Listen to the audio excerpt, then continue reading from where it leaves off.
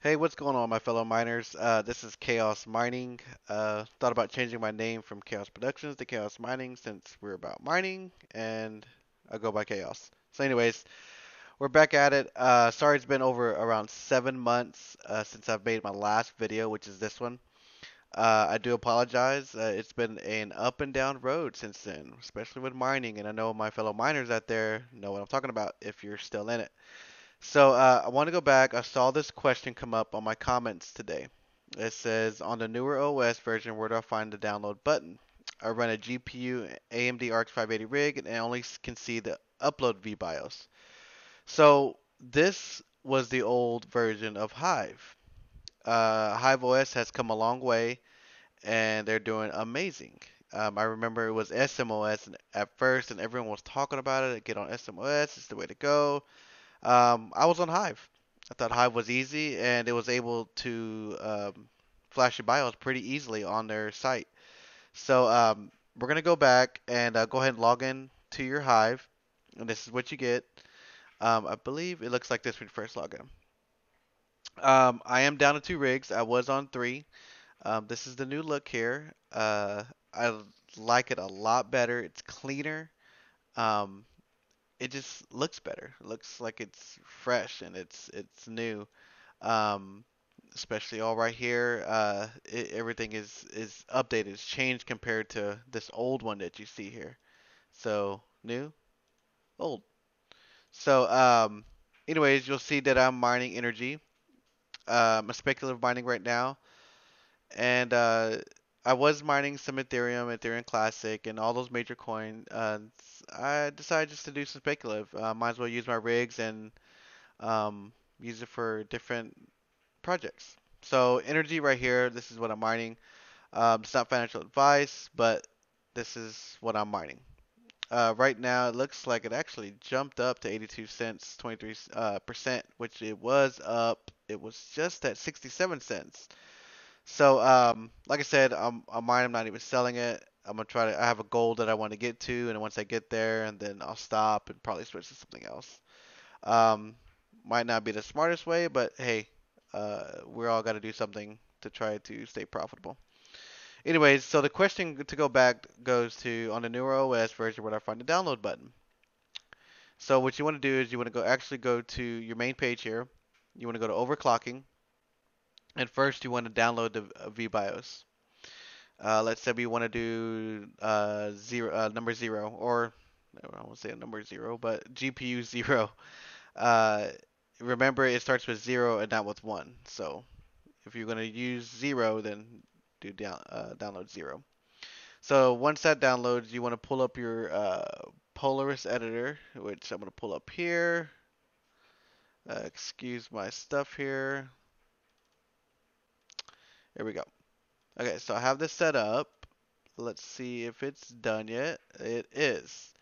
So I like to set up folders when you download it. So when you click that, it'll automatically want to download the BIOS. Uh, I created this folder here, RX580, and I've made two subfolders inside that main folder. Uh, stock and mod. You want to put the stock BIOS on this one, just to stay organized. So that's downloaded. Always like to clear my little task right here. And let's open up Polaris. You want to open BIOS. You want to go to stock.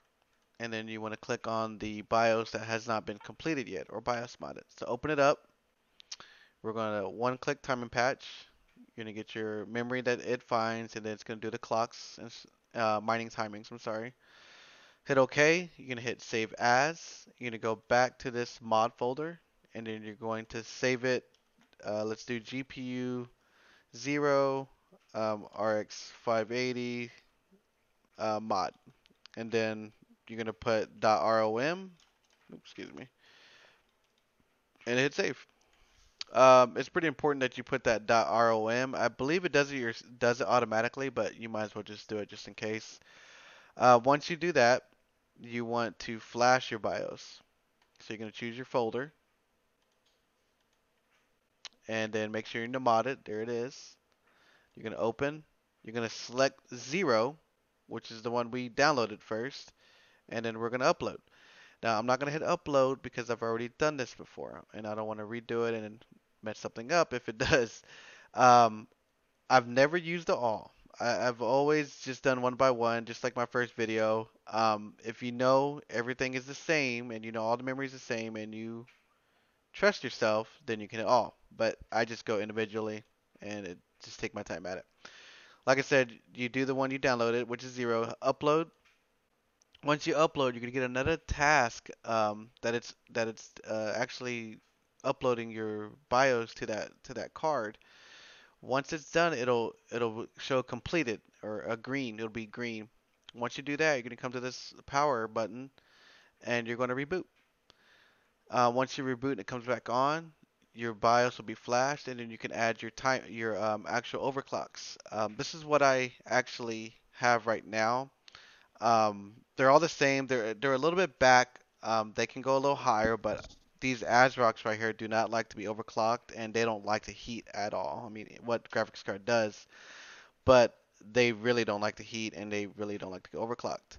Um, compared to my Sapphires, these are still running really cool, and um, I mean these are still good, but compared to those, they're running really well.